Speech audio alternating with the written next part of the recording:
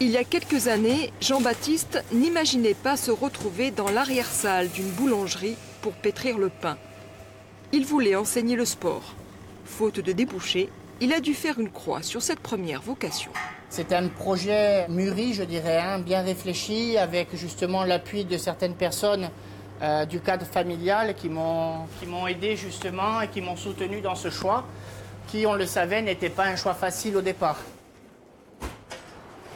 Jean-Baptiste a repris le local de la pizzeria tenu par ses parents pour le transformer en boulangerie-pâtisserie. Après plusieurs années de formation et d'investissement financier, son commerce est devenu rentable. Le carnet de commandes est plat.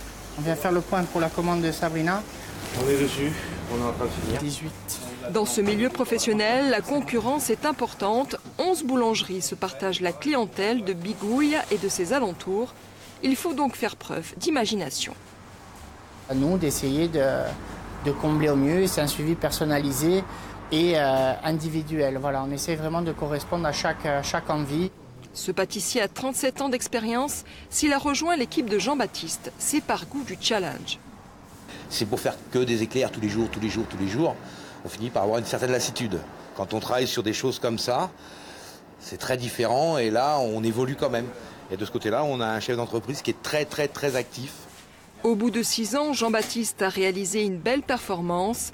14 salariés, deux boulangeries, dont une récemment ouverte à Lupino, le quartier de son enfance.